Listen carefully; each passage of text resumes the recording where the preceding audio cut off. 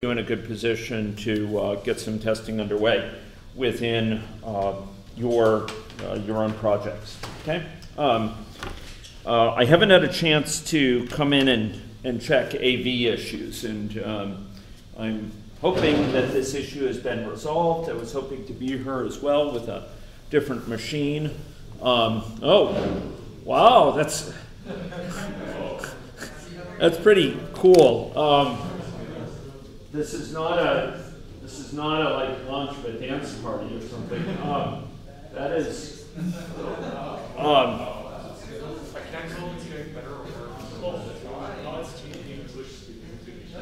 It's weird sometimes it's like raining before. yeah, like, Yeah, this one's important. Okay, I, I sometimes go through slides a bit quick, but this is kind of overdoing it, right? Um, uh, but if maybe if you blink at 60 hertz, you'll. Um,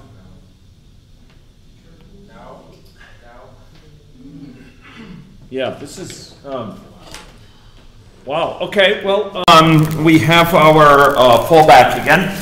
Um, so uh, I, I'm going to field um, uh, ideas from um, the uh, the case uh, that you did for uh, further thinking on. Um, what are some further tests you came up with um, when thinking about that problem on your own? Anyone? Yeah, Mason. Capitalization. Okay, good. So needing to be uh, aware of capitalization, um, uh, conformance of, of the correctness of the results. In other words, um, you want to make sure that it's not equating things that uh, different differ in their capitalization. It's not thinking lowercase a is the same as uppercase a, right? Um, which could happen in certain environments by using regex options, which are case insensitive, for example. Um, so that opens up a class of tests, you know, that, that have to do with uh, not recognizing lowercase for uppercase and vice versa. Um, so, so I, I welcome that. Other other ideas people might have come up with, Camille. Yeah. Uh, if you search for an empty string, Mm. Yeah. So so that's a, a whole class of them, and and once again, that is something which, um, you know, brings up issues like what should the correct behavior be, right? Um, because uh, we wanted to conform with the specification, but the specification that was given deliberately did not include um, a specification of what if we search for for empty string. There's no explicit attention to that. It's it said, you know, repeat the number of times that you know string B occurred in string A, but it's not really well defined the number of times that string B is empty, right? Um, does it occur zero times, one time, ten times? Well, it's it's pretty much all the same in terms of its implications. So what should it return? Um, this is an important question. So so that's a, a really good example. And also searching in things that are empty themselves. So in strings that are empty, right? Searching for the empty string, but searching in in strings, uh, looking for it in strings that are empty. Make sure that there's no there's no bug there. Um, there's no problem. That one's well defined from the specification standpoint, but it's not, um, it's not necessarily mean that its implementation is correct. So often we distinguish again, um, you know, the design and the implementation. And, you know, there's a question of when the design is misunderstood or it's not explicit enough. That's the, the spec, as given by the specification. And, and then on the other hand, there may be problems with implementation. So all those are things you're looking for in coming up with tests. It often pushes us to specify things more precisely. How about other ideas? Anyone come up with some neat ideas? Yeah, exactly. Yeah, so, so certain types of special characters. Give me a couple examples of special characters.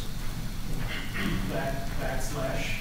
Uh, good, good. Backslash uh, would be one of them. Um, uh, does it does it correctly interpret that as a literal character, or does it instead, um, you know, interpret that as something which is uh, instead, uh, you know, uh, an escape character, right?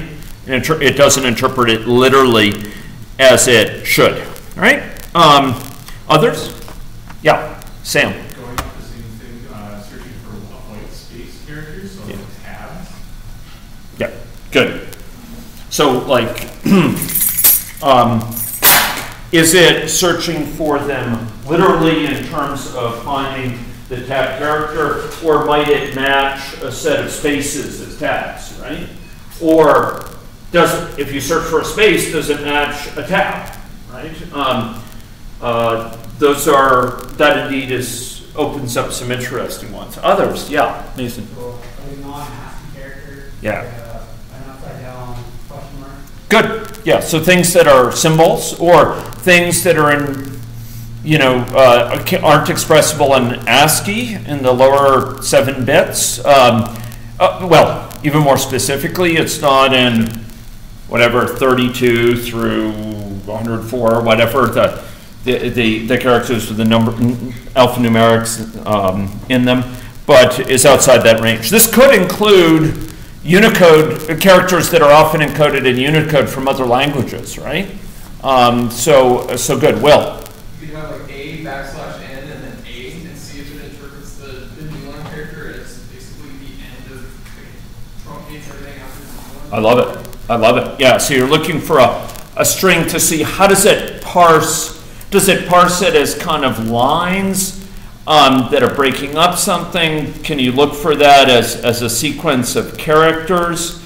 Uh, it kind of builds on the escape character idea, but um, takes it takes it further and kind of intelligently looking for chunks that would indicate does it how does it match it. So I, I, I like that idea, Matt. You could try with path or system variables, see if there's spans. Yeah, I like it. So path and system variables is it shoving in sort of some, some system variables uh, uh, in there, expanding them into things that weren't intended. It was intended as a literal string, but it interprets more. Yeah, Uh, Mesa. I was thinking, put some, uh, uh, any language or system implementation of, uh, EBCDIC characters in there and see what happens. Yeah, okay. Um, There, EBCDIC has a different, or many different implementations that are inconsistent across platforms and other things that they're being implemented.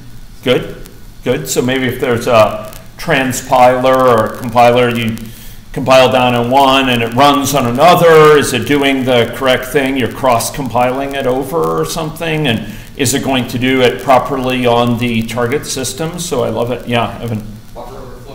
Yeah, yeah. So for security concerns, have very, very, very, very long strings. Yeah. Yeah, I was just gonna say that, but?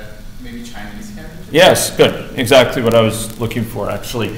So other character sets. There, char- other character sets can be readily accommodated within uh, within you know Unicode um, encodings. Um, uh, it might be uh, might be East Asian um, uh, character sets, so Chinese would be a, a good one. Also, maybe some that are left to right instead of right to left, or right right to left rather than left to right, uh, like Arabic scripts, I think are. Uh, so you know a whole bunch of different ones. There's actually, if you look below 32, there are some that are like backspace character. Um, uh, and, you know, those in principle could be looked at, right? Um, now, I think you folks will appreciate when it comes to the difference between white box testing and, and or glass box testing, I prefer, and black box testing, these might lead need to target these differently, right? Like, if, if you know the implementation, it might lead you to to emphasize certain types of testing. You know, wait a minute, I mean, this thing has, um, uh, it's, it's implemented in a way that, in an environment that there's no access to environment variables. It's implemented in this language, in this environment, and there's no way that any information on environment variables gets into there. compared to if it's implemented in shell script, where there's every bit of concern, right? So, not that I wish you that, um, never wish harm on my students. Um, but, uh, you know, it, where, where expansion could take place. If you know something about um, the character encoding scheme, right? Um, you know, you're working on a Unicode compatible language and, uh, you know, that it shouldn't have trouble. You might test a little bit, but it's not going to concern you that much. If you know cross compilation is going on per Mesa's comments, um, then that might lead you to test platform compatibility. What things are risks uh, is often informed by knowing something about the implementation.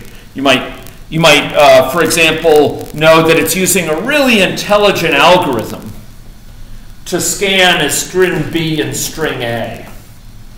For example, um, there's some very intelligent algorithms involving not needing to look further than you have to. And it kind of advances by the right number of characters. When you look here, you know it also rules out it being, you know, just uh, one off to either side or something like that. You, you can reason about the strings being searched for and say, ah, you know, given how far I've looked already, this rules it out not only for the position I'm searching, but for nearby positions. And you can kind of jump forward and jump forward.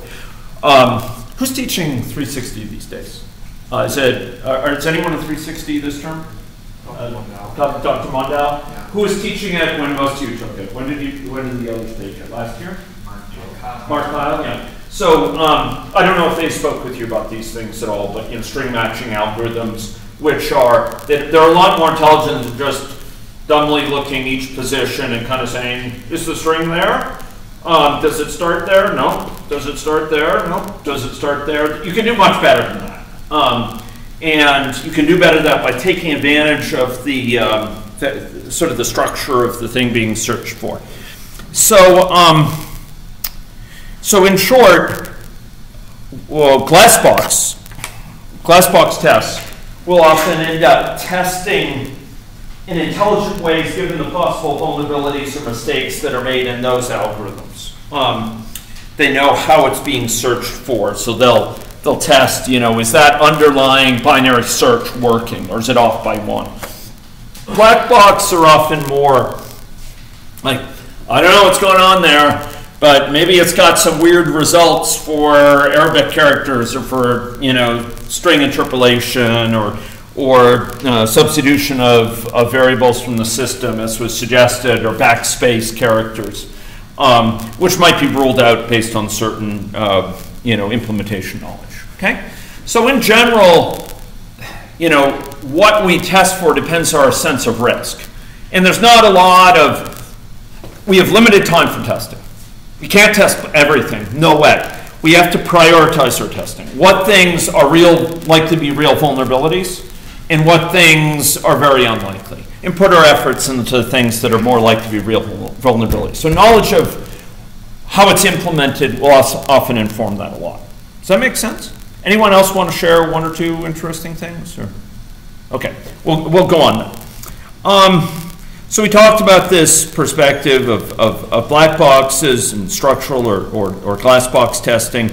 Um, and last time we noted some of the tools that we put into place uh, that were illustrated here. Camille's example of searching for an empty string is a great example of a boundary value sort of thing. It's not a value, it's not a it's not a numeric value, but it's a string value that's kind of, um, you know, on the edge of that distribution, so to speak. Okay? Um, and uh, there are times where we'll engage in oh, uh, random testing.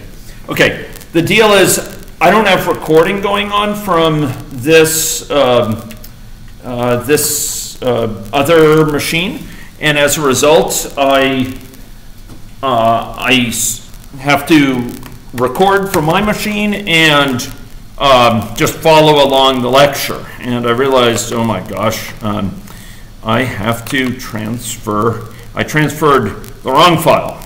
It's, we're not going to probably get to these slides till next time. So I will copy over the correct one and, oh, no, it's there. So I guess I had both on there. Okay, well, that's not a bad thing. I just copied one, two there, sorry.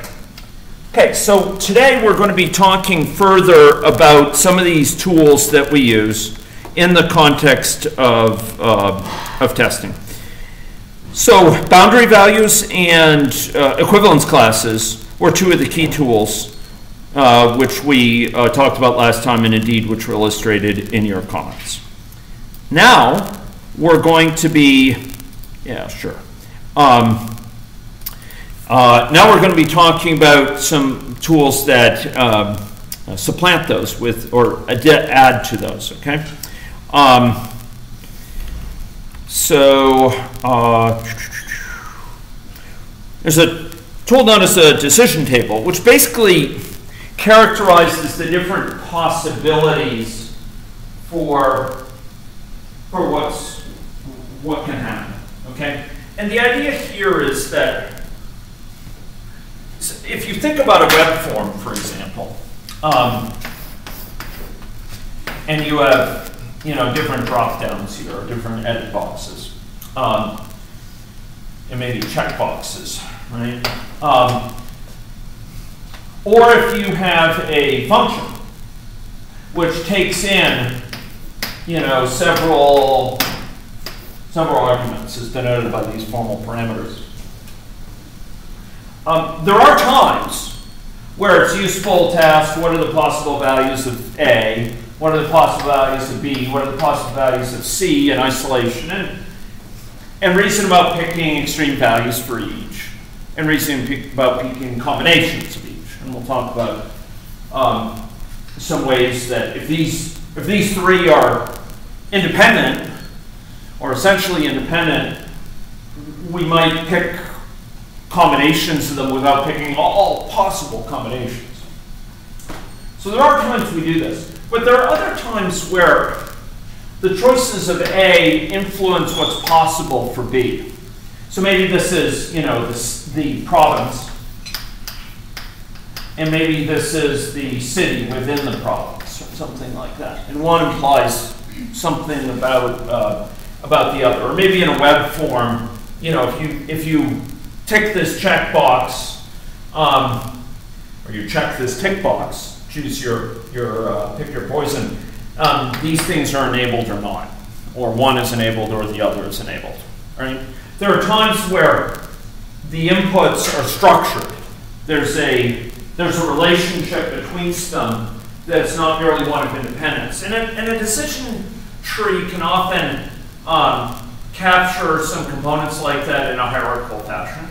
Um, uh, and other times it, it captures regular structure. This one that we're capturing here happens to be fairly regular. You have um, number of claims that have been submitted for previously by this driver. This is for a, a driver um, for insurance uh, insurance claim. So in other words, uh, someone's in an accident and uh, and they need to, they're applying to be compensated for their um, damages. And this is telling us how to handle, um, to adjudicate these results. So if they've previously had no zero claims, uh, you know, zero, zero claims, no previous claims, we'll handle it one way.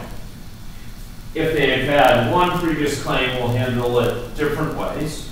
Um, if they've had five or more, we're not going to pay them previously.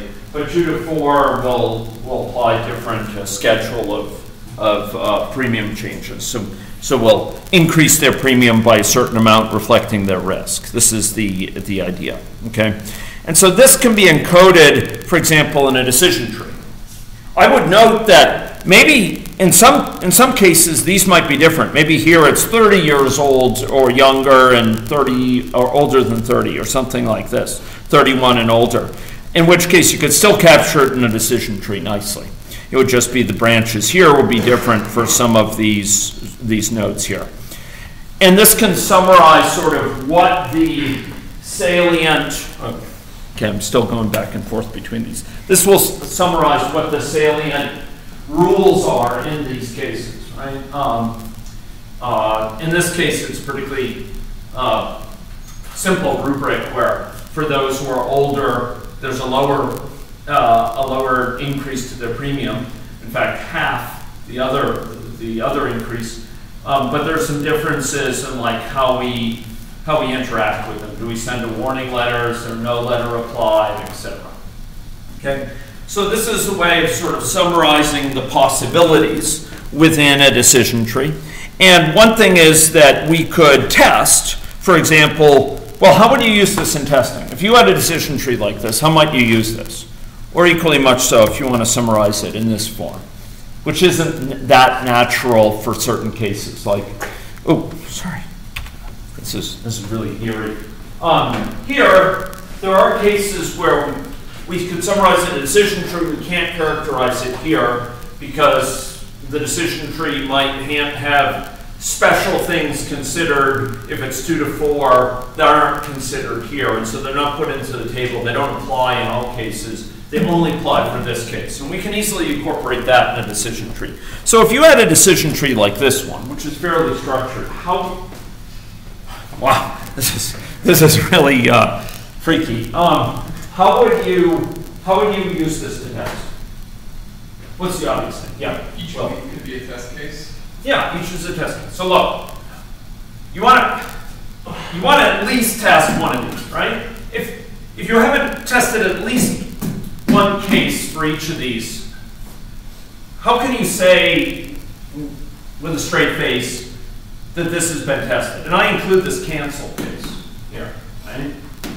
You want you want to test does the system work when we cancel? Does it trigger correctly a cancellation of their uh, insurance policy from this company, um, from this insur- auto insurance company, when they have five or more claims? The insurance company might have a strong interest in making sure that this business rule is captured, because these are some of the most problematic drivers right, in its policy. And they want to have this tested, you want to have each of these tested.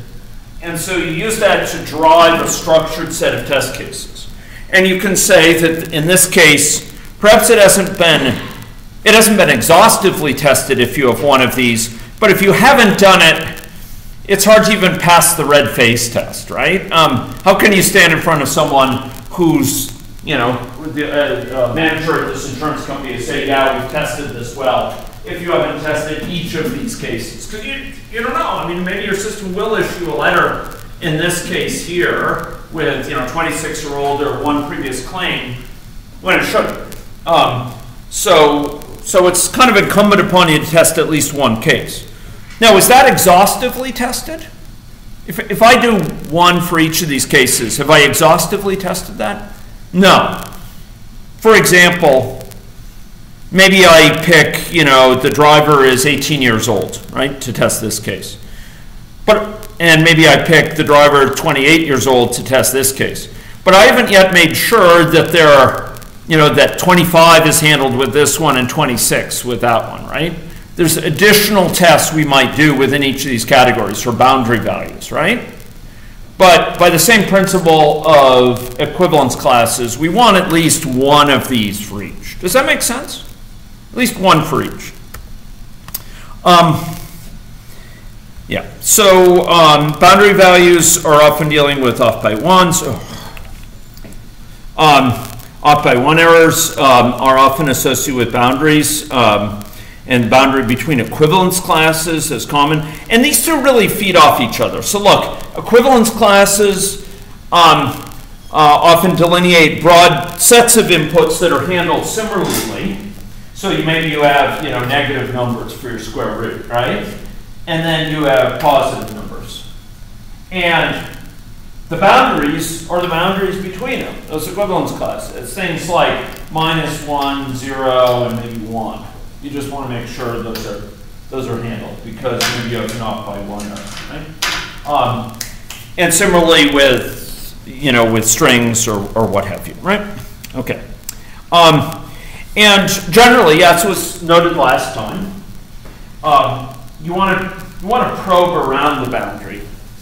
You don't want to purely do the boundary value because the whole point is that people might be off base about where the boundary is or, or thinking about the boundary. So you want to do, you know, the minimum and the minimum minus one and the maximum, the maximum plus one at the least to make sure, yeah, each is handled in its in the logic appropriate for each side. Does that make sense? Yeah. Um, okay. So I'm going to ask you to undertake another exercise here.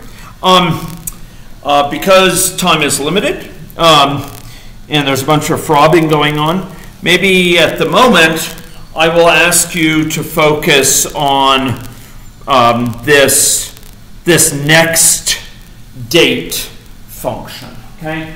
So, uh, this is again wild. Um, next date. So you have um, you have a function which specifies um, a date, and you can assume that date can give you. It doesn't have to be provided separately, but you can assume it can give you the day, month, and year. Right? Um, uh, Java used to do this with uh, the date object, um, but that object has a lot of vulnerabilities. Most notably, it's mutable. And more recent versions of Java have much better supports for calendar-based based dates. Um, dates, and I think it's with a calendar uh, abstraction. In any case, suppose you, you give it something that indicates the date, and you want to ask what's the next date and see if it operates correctly. Give me some cases that you might test that would would be good places to look for problems and good places to check that it's working properly. Yeah. Um, uh, so Mason. Yeah. Good. Good. So uh, logic associated with every four-year leap years, right? So I, I like that. Mesa. Um, if you can specify a time zone, do it, or specify a time zone or dates specifically on daylight savings in that time zone. Or the exact hour that's supposed to switch back. Okay, that's that's interesting. Um, I trying to think if that would affect the next date. Uh, it could certainly affect the next hour, or, or yeah, what is what is the next hour? Because if you hit it at the magic witching hour, right? Um, like next hour is like would normally be 1 a.m., but it's actually um, switched. So, so you know, if you fall back or leap forward, it's off by one of those. So, so that, that's actually a really nice idea for hours. I don't know that it comes into the date side, um, but um, but I, I like your I like your point of critical points. Will. Uh, have one for the last day of each month, but more specifically December thirty-first. Good. So December 31st would be a great one. Last one of, of each month is, uh, is good, so you make sure it goes to next month. And of course, what that needs to reflect is the months are of different lengths, right? Um, and, and so you're ensuring that, uh, you know, it goes, it goes correctly to the next day. So that's good, but how about, how about a variant on that idea? So that's a very good idea. I'm, I'm, I'm completely for it. But it brings up another set of related cases that's actually, it's, it's very closely related to what you said. Yeah, Will. I say try the thirty-first of a month that doesn't have thirty-first. Good, good. And try maybe the date before the last real day of that month and see does it give you the next real day or does it prematurely go into the next one, right? Um, you, you might argue one will suggest the other and I don't. So, in other words, if it's broken, that when you say the last day of this month and you ask the next day, if it if it gives you the first of the next month, you may argue, well, that would imply that if I ask for the next to last day, it won't give me that. But no, you want to look. You want to look because bugs happen in, in code, right? So those are uh, those are excellent. Um, other other ideas? Yeah, Lisa. Um, putting like a, uh, zeros and negatives, see if that uh, has any effect on dates. Okay. Um. That's, eh, okay, yeah, if this is specified via strings or something like that, sure. If you're giving it a date object, um, and this bears at the last, last comment as well. If you're giving it a date object, a date object that's legit, that's already been created, you're giving it a legit date, some of the ideas of saying, well, you know, it is, you know, April 31st, kind of they're hard to realize because you can't create it in the first place, perhaps. But um, there may be some systems you can. If it's a string, that'll be a, a, a good idea, and that will get us into testing strings. But the truth is, for a lot of our systems, where we're operating with type languages or where we're operating with uh, data structures that are built up for us by a library externally, you know, we have limited flexibility and um, and specify certain types of weirdness. You know, if there's a if there's a function which depends on ints being given an int being given for its first argument, you can't give it a string. I mean, the compiler will say no. Um, you know, you can't can't do that. Um, uh, it, it won't it won't allow that. It will be blocked uh, by a by a compiler. So um, so these are good. I, I like uh, like what you're you're thinking here. Um, there's some others too. Um, I mentioned uh, so Mason, I think it was, who mentioned every four years. But there's also I don't know if you know, according to the Julian calendar, I guess it is, or whatever. Um, every hundred years, there's a skip of what would be normally uh, uh, a leap year. I think it is. Um, either that or there's an extra. I think it's a skip of one. And every 400 years, there's a there's a violation of that rule. And so, you know, can, this can get into some very specific tests um, uh, to, to reflect the fact. I think it's because the, the day is actually, the year is actually 365.22425 or 2524. Um, uh, something like that. And so every 400 years, it's an exception, and every 100 years, and every four years, etc. Anyway, um, so those are good. And it should get you thinking about like what are some good things to check. Um, you might check the first day of every month to make sure the second day is given properly, right? Very likely to be so, but greater chance that that's off than you know going from the 14th to the 15th, something like that. Okay, Okay, how about substring? Um, I want you to think about this for for a little bit. I'll give you, you know, two if you want to talk with someone about it. Substring. Okay, so the idea here is we give a string and we specify an index into that string. Okay, um, where that index we specify a starting index. Say it's zero based. I'm deliberately understating this. Zero based and um, and end is deliberately zero is, is zero based. Okay. Um, and so those specify the indices um, that we want to include in the substring. So so you know if we have a substring, uh, uh, you know foo, right? And we extract uh, and we ask start at index zero and end at index 1, it will give me back foo, uh, or fo, right? Right? Start 0, and the last one is 1. It will give me that. If I do foo, and I, I do 1 and 2, yeah, let's do something better than that. Let's do uh, 0 and 2. What will it give me back? foo. It'll give me back foo. Right? If I do one and two, it'll give me back. Um, okay, so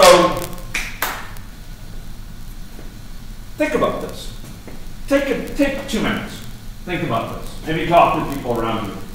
Um, what are some good things to try for this? If you wanted to test this thing, suppose I give you an implementation, black box. You can't see my implementation. And I tell you it has bugs or it has at least one bug in it. Find it. Give me some tests that will help rule out where that bug could live. Okay? So talk for two minutes. Okay, and, and then we'll, uh, we'll start up.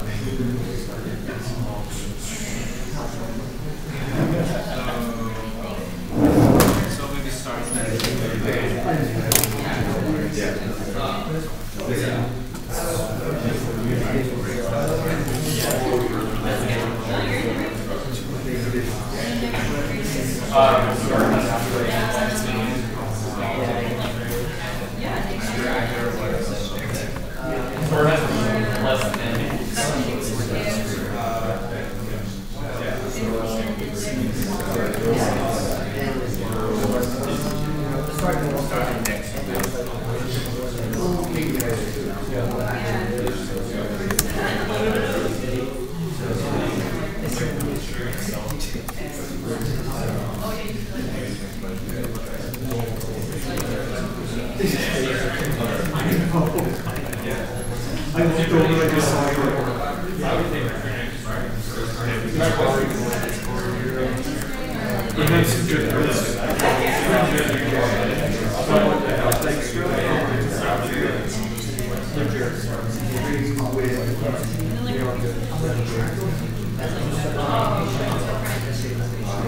Oh, okay?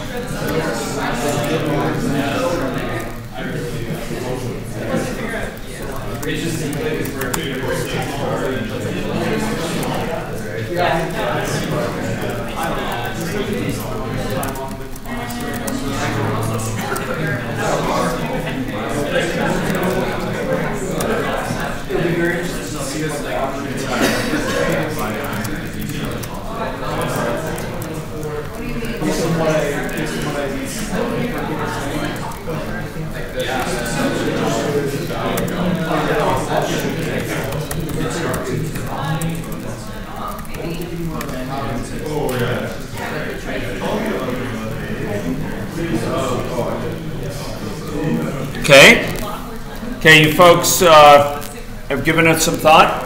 Okay, so let's, let's uh, suggest some, some good things to test, okay? Um, So give me some that you think would be promising avenues for testing here. Yes, Mason, Mesa. Uh, I would say, uh, put a string in that's longer than integer maxed out for the system. Okay. And then like find, uh, uh, see if you're able to get from the end, Let's see if you can get what? see if you can get like values in the end of the string. to- Oh, okay, um, So essentially, integer overflow. Okay, so, um, greater than the max integer value. Um, uh, I could imagine cases where ints are short ints or something, and that wouldn't be that hard to do, even where they're long ints and you've got gobs of memory. Um, you know, in that case, uh, uh, Yeah, so I guess the question there would be, if you gave something as an int, which is in fact greater than the max int, how is it going to be handled? Is it to be treated as a negative or something along those lines? But there's a question also in some languages that's going to be handled, uh, well, you you could calculate it, and so it wouldn't be discovered by the compiler you're doing that. Um, uh, it gets into issues of encoding of integers, which are a little bit less for testing this thing, but it's an, it's an interesting idea, and, and it gets into buffer overflow issues um, too. I, I'm not sure it'd be super useful for showing problems with the function. Um, yeah, I'm not, I'm not, I'm not utterly convinced. I'll think about that more. So yeah, Will. Give it something like backslash n below, and then try and take the first character, and see if it gives you backslash, if, you, if it gives you backslash n, or if it gives you h. Yeah, good. Okay. So, so I like that. Uh, the first character, right? Um, and um, and you want to confirm that it operates correctly. Notice I, I wave my hands for this. I didn't even provide you a specification, so it's loosey-goosey, but presumably it should provide backslash, right? Interpreted literally, Sam. Uh, the end is before the beginning. Good. I love it. I love it. Uh, Once again, I didn't specify what it should do, but what you would expect would be that it would it would not it would not be um, acceptable. So maybe it would it would either be ruled out by the specification. If there's no specification given, you'd expect an error message or error, you know, an exception to be thrown or um, some other indication that this is illegitimate, returns null or, or something, right? But this is part of the point of thinking through tests. I'm emphasizing TDD, and part of the reason for thinking these things through is, you know, what do we need to reflect in the code, but also what do we need to reflect in the specification that I'm going to be looking through for in all your code bases? You know, saying this is what this function does, or this is what the job of this class is, this is what its preconditions, postconditions are.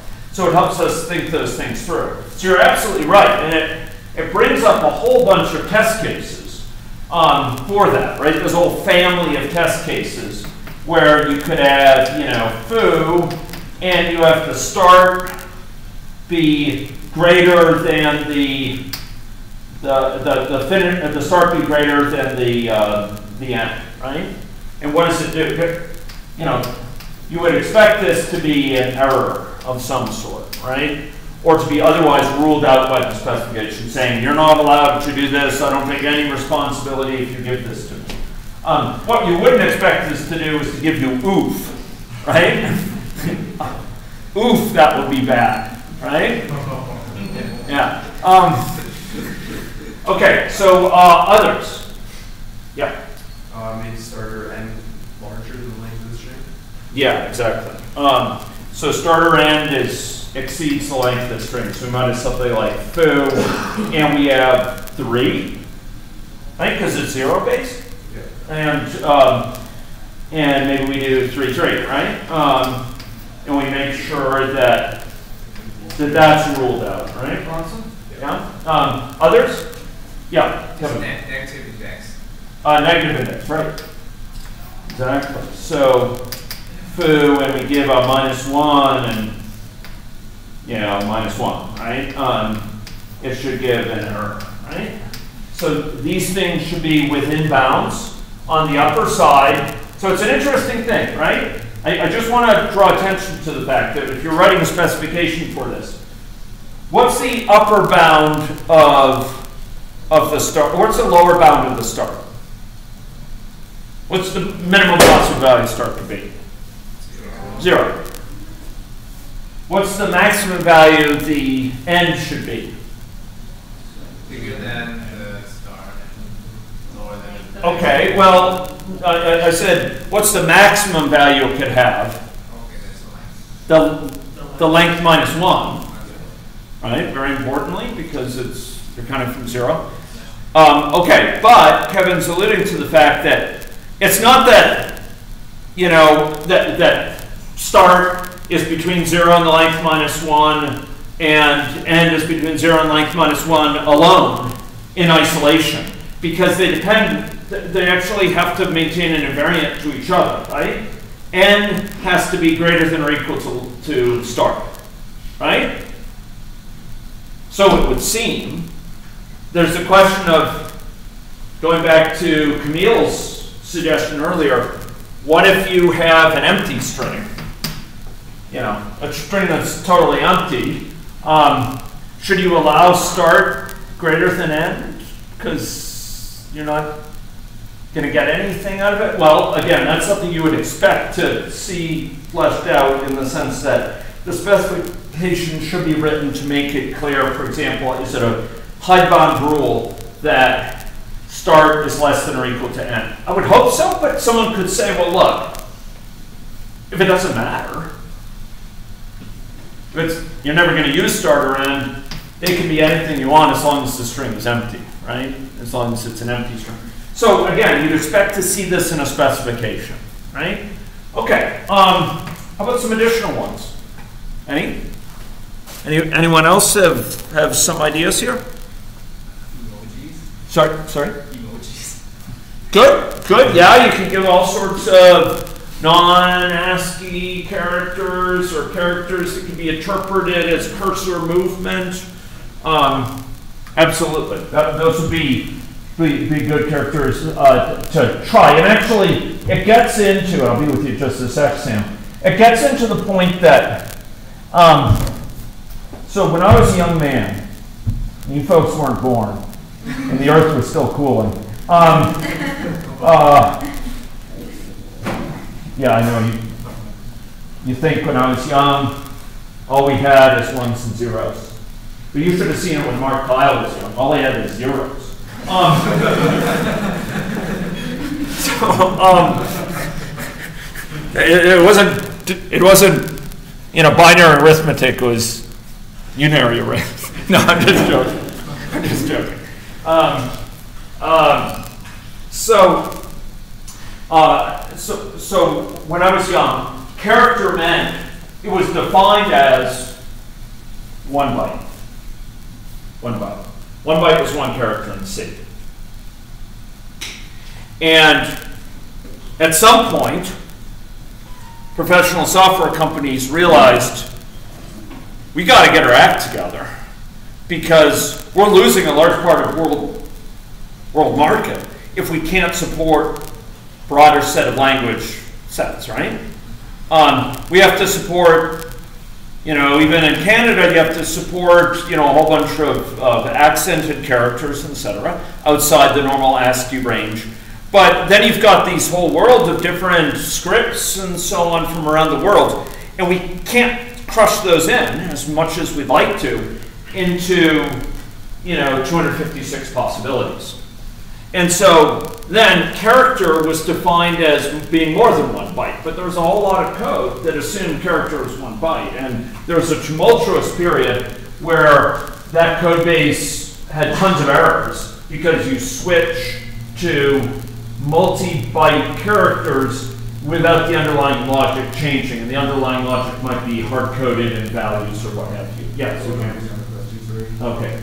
Okay, so so the point is, um, with emojis or with you know foreign character sets or what have you, um, you've got to wonder, hey, start is that a character index or a byte index? You hope it's character, right? Um, and you're trusting its character. But if this is written in low-level C on a machine, which where you know it's not dealing with those sort of character sets, um, or you're using an older library, a C library, which are still around, the same C libraries that I grew up using, um, you know, are still still around, the C standard library and so on.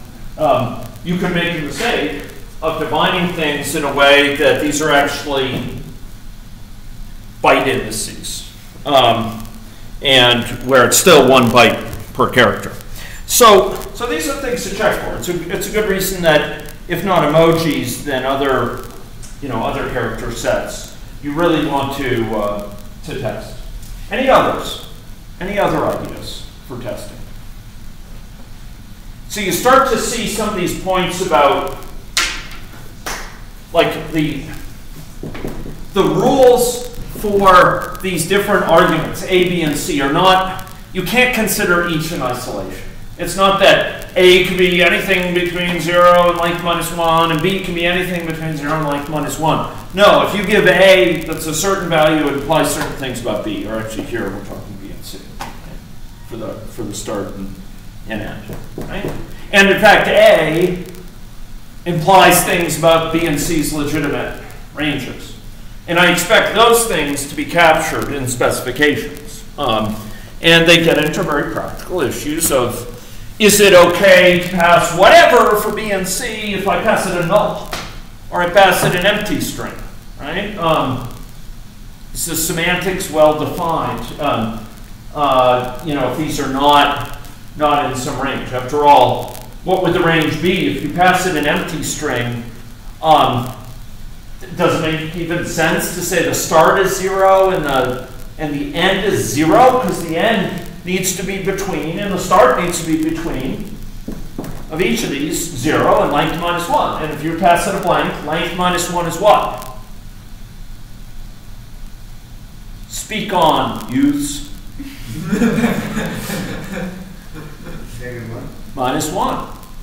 So is, you know, if you give it a blank, what are legitimate values for these? Think about it naively. These are between zero and length minus one, which suggests there's, there's not a legitimate value to specify, right? So, so you have to, you have to think about, you know, what, how, how are, how are those things defined for these cases where, for example, this is a corner, corner case. It's a, it's, you know, an empty string.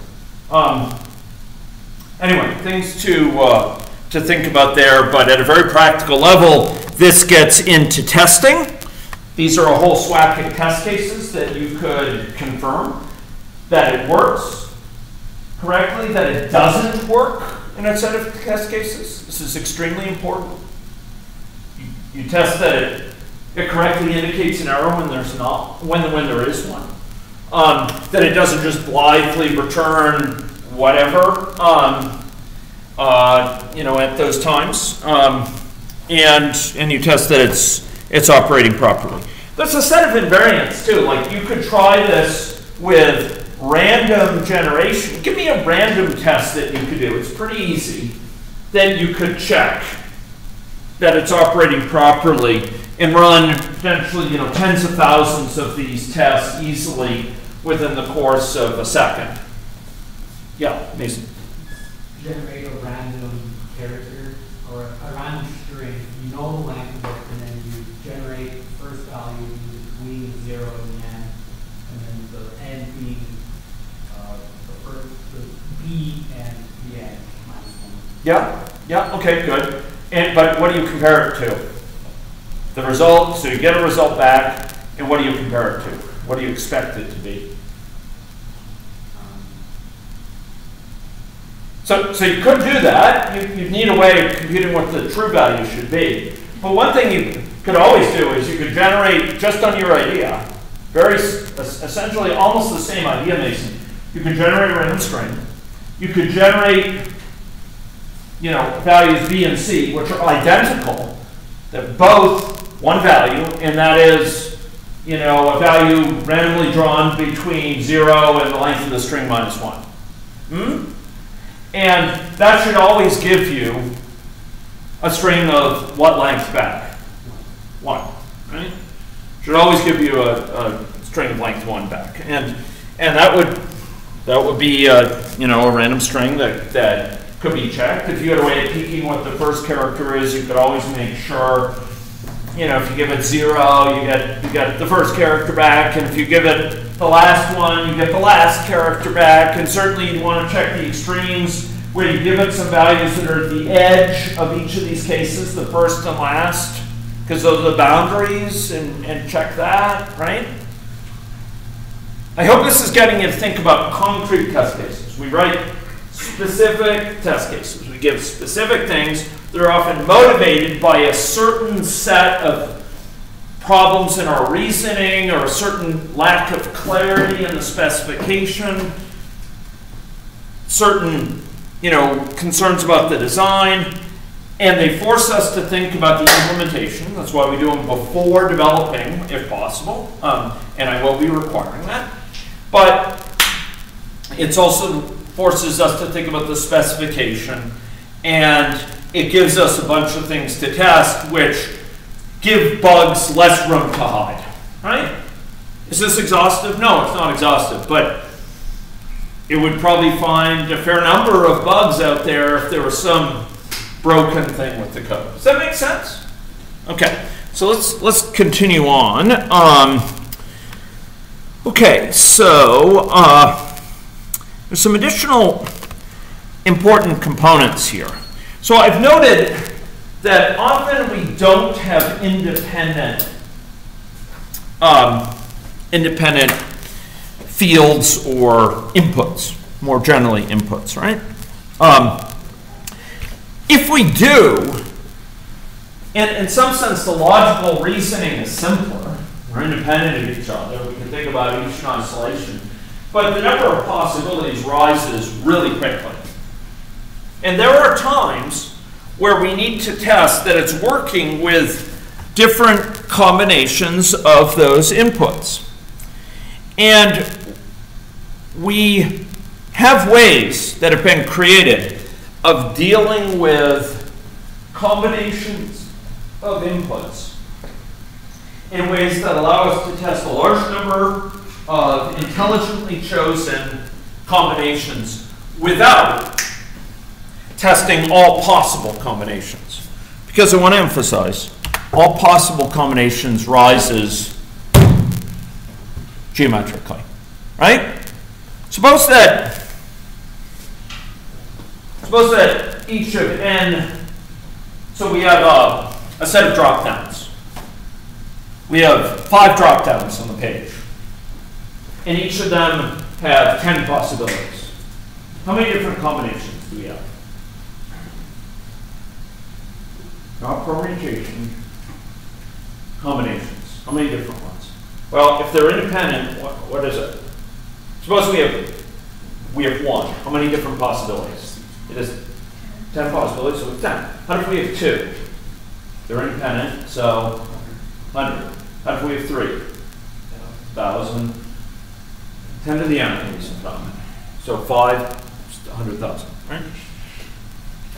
So this may not seem overwhelming if it's values to plug into a function that's something like strlen. You could run 100,000 within, you know, a second probably on today's processors. But if these are different configurations on your machine of browsers and media players and plugins for those browsers to support Grammarly or support, you know, a RefWorks manager or support um, some sort of audiovisual uh, cap streaming capabilities for your systems or what have you, that becomes really onerous because it might involve you know, manual configuration of systems that have these characteristics to test to make sure it's operating.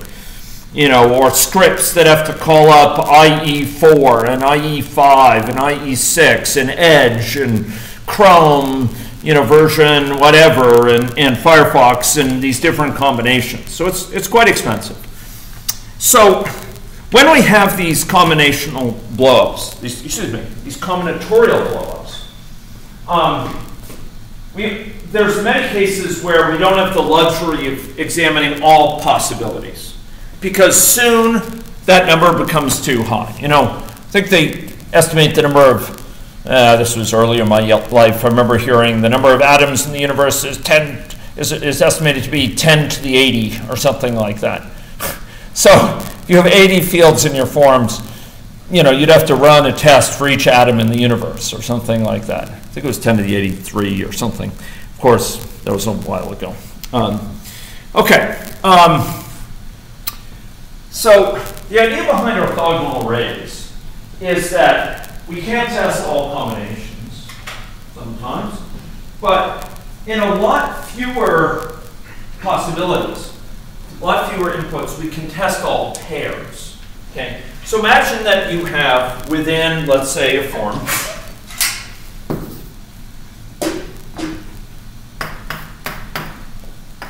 A, B, C. Okay?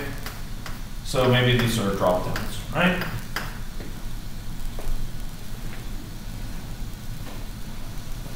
And maybe they're selecting different services or different configurations of your system, some heavyweight thing to, to specify.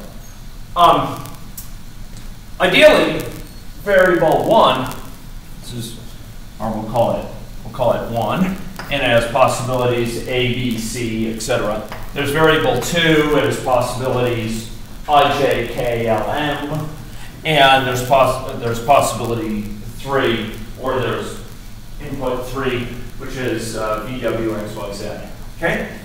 Um, if I consider those, each of those has five possibilities, right?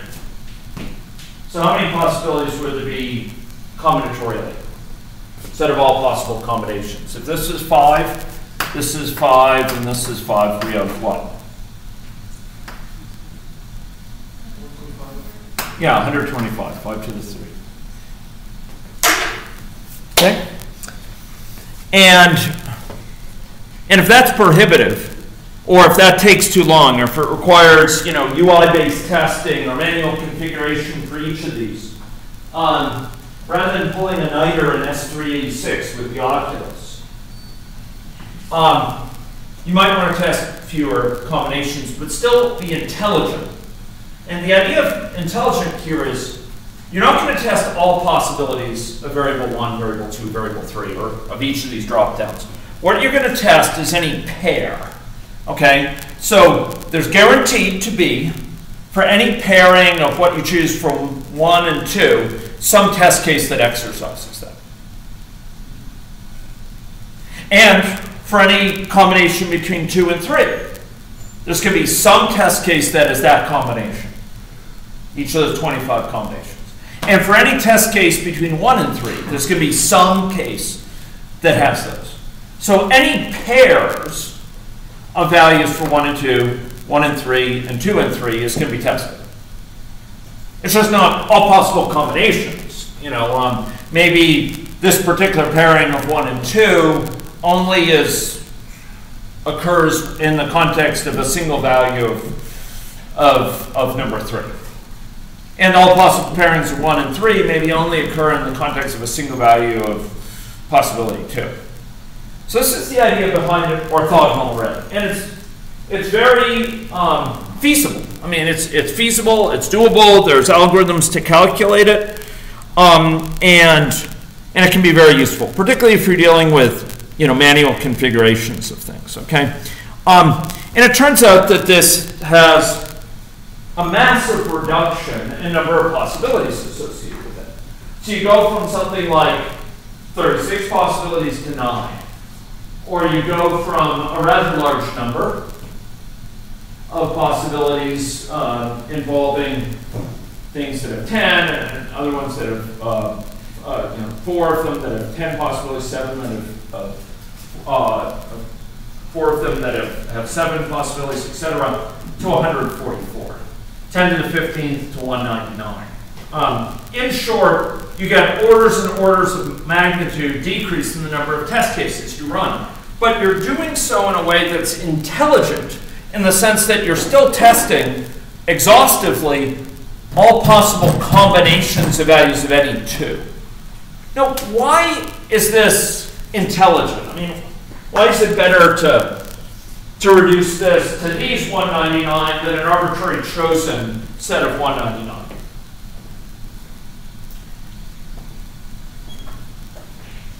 The Greek chorus remain silent yet. But hope springs eternal, like the springs on Mount Erebus. Um, yes? So the likelihood within that big number of basically the exact same output be super high. Yeah. Yeah. Because often, ladies and gentlemen, I think Mason was specifying it, if I can unpack that a bit. Errors, errors often occur of certain sorts. We saw it earlier, right? Prioritizing these, these things we would test in a, in a store length function or the count instances function. They don't come about randomly. They come about because of certain types of faulty reasoning, etc. Certain types of mistakes. And one of the places they come up a lot when you have combinations of things is there's incompatibility between pairs. Like, like there's maybe there's a problem. Maybe you, you choose your browser, and you choose your plugin, uh, and you choose your operating system. Okay? So I could do Chrome on Mac with this type of plugin for Grammarly, or I could do, um, or, or this type of reference manager plugin um, for, for managing references, uh, bibliographical references. Or I could do, you know, Windows and Chrome and that, or I could do Windows and Firefox and that, or I could do Windows and Edge and that, or whatever, right? Um, often if there's a problem, it's a compatibility between two things. You can get cases where, like, this only is a problem on Edge on Mac. I don't know if Edge exists on Mac, but um, Edge, you know, or, or Chrome on Mac with um, uh, with this particular plugin. But very commonly, it's an incompatibility of two of them rather than all three of them.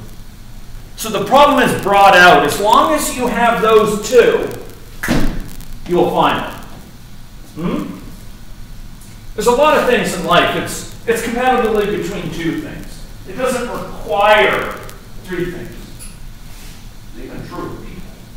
Think so. Um, uh, so, so ladies and gentlemen, this algorithm, the, the orthogonal array, guarantees that you test pairwise compatibility. Hmm? Does that make sense? So you're testing pairwise, and the chances are very high that bugs are issues with pairwise compatibility rather than only manifesting when you have these three possible combinations. And frankly, the number of people that will be inconvenienced by bugs that are pairwise is much greater than the number that will be inconvenienced by only you know, the small number that have all three a certain way together. So you're finding the high risks for user inconvenience because large user segments might have a given pair of these. You know, they're using Chrome on Mac, or they're using Firefox on Windows, or they're using Linux and and you know uh, uh, window, uh, Linux and and uh, Chrome or Chromium. Uh, so so in short, this is a high chance of, this boils it down to, distills it down to a set that tests all possible compatibility issues between pairs without requiring exhaustively examining all possible combinations.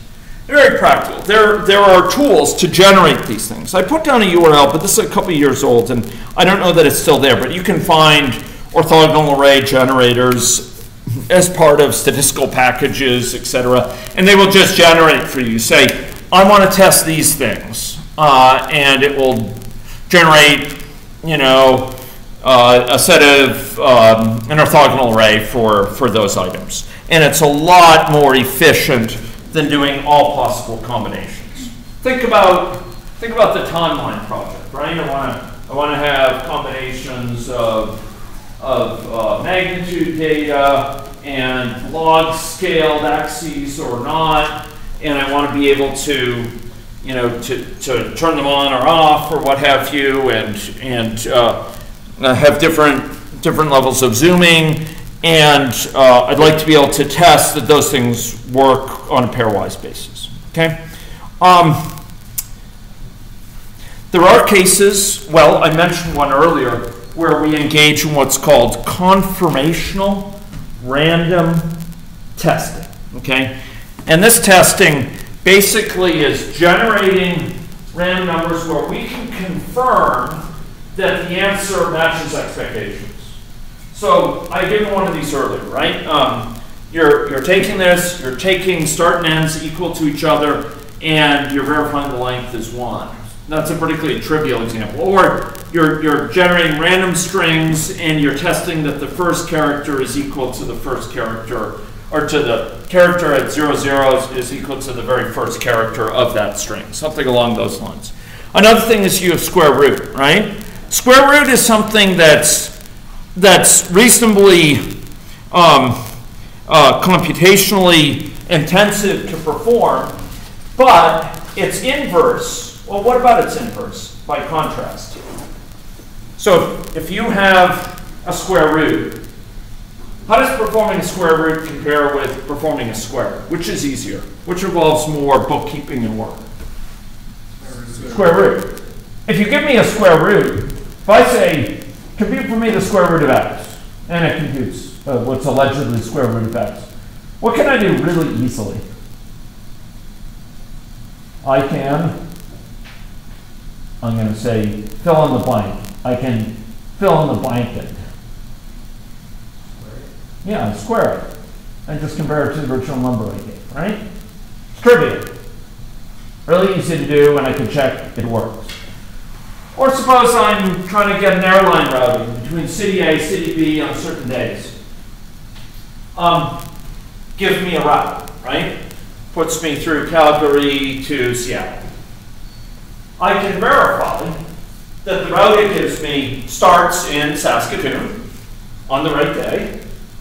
It goes to Seattle on that same day. And it's contiguous. If there's places in between the successive legs, you know, there's a leg that ends there and that next leg starts there, right? Um, and the timing of the departure for the next leg is after when I arrive by a certain minimum number of minutes. It's, it's really easy something to check. That doesn't mean that this is the best route, but at least it rules out that it's totally broken, right? Um, and uh, you know, you might choose that it's better than a naive route to that to that same place, right? Um, uh, another thing you can do in contact with assertions is if you have a really clever algorithm, maybe it's for string searching, maybe it's for route optimization for buses, maybe it's you know graph traversal um, algorithm or what have you. One thing that's often really easy to do is um, create a brute force version of it. There's a whole class of problems in computer science. Problems with, with which I hope most people here have enjoyed acquaintance, the pleasure of acquaintance. Um, where um, with that problem, it's really easy to create a kind of naive algorithm a brute force algorithm for doing it. It, it can be done in a few lines sometimes, you know, multiple loops or something like that. But it's very expensive, right? By contrast, doing it intelligently is much faster, but it's much trickier. So the idea here is you compare the results with your brute force algorithm in testing against the clever algorithm. Hmm? And you make sure they're the same. Maybe even have an assertion that does that at runtime while you're running the system. But of course, the assertion gets stripped out when you ship it, when you go live, when it's deployed. And so there, it's actually testing is the answer I get to this really clever algorithm the same as I get to the brute force algorithm? You're confident if it's the same every time, yeah, you've got a good algorithm. Um, but the user doesn't bear the penalty. It's just, it, it's, a, it's an easy thing to, to double check. Think about that. Think about that. Okay? Um, that's all we have time for today. Thanks very much. And I want to remind people that in this class, I routinely, after each lecture, hold office hours. I've enjoyed um, seeing many of you in my office, but there's many I've not yet uh, seen, and uh, I would like to do so. Okay? Thank you very much.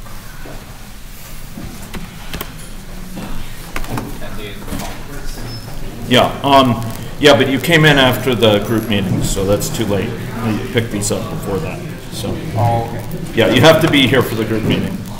To- Before the group? Sorry? Before the No, when I came in, the group meeting was finished. I mean, by the time you came in, the group meeting was done. So I'm not gonna accept that. These requirements are super good. Super good. Like, uh, you take ADP, you get CC frames per second. You have like a. Yeah, you were saying about, it's like sometimes when you know about the implementation, it can help you write tests, right? Yeah, But with, with TDD, you want to write tests before you implement. Yeah. So is it all right to write more unit tests after? Oh, yeah, oh, after absolutely. implement, Once you. yeah, and, and generally you will.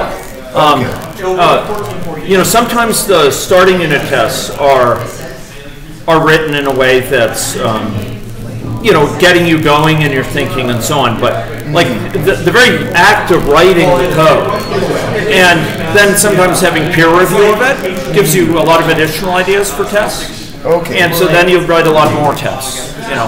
And in general, yeah, you want to support writing a lot of tests after. The key is to write at least some, get you thinking about some beforehand.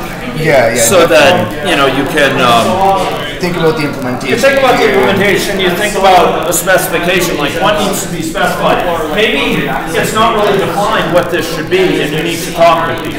Yeah, yeah. You know what I mean? Yeah. And so, so those are good things to be thinking about before you write code. Yeah. And, uh, but yeah, afterwards, you want to write probably a lot more tests or learning.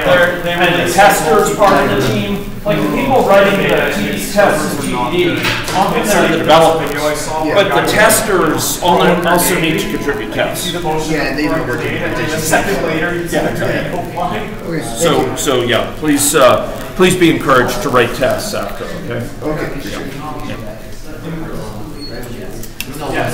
Dan, um, uh, you know, I, I welcome meeting stu- with any students here is the priority, but, um, uh, if there's, uh, not high demand for that, I might, uh, ask for a bit of your time, TA time, um, to sort of talk a little bit more about, uh, about the class.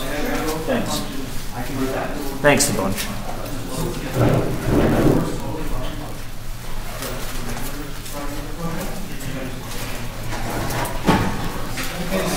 uh, when Master Chief Collection on Xbox first came out, uh, from Xbox One, huge server issue. Huge server issue. And then they basically killed the game when it came out. So hopefully they get it right on PC. Yeah, yeah.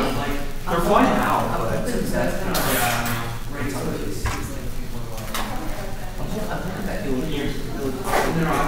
A buzz around Halo again? Yeah. Me too. Yeah, it is finished. Yes. That might, but I mean, if MC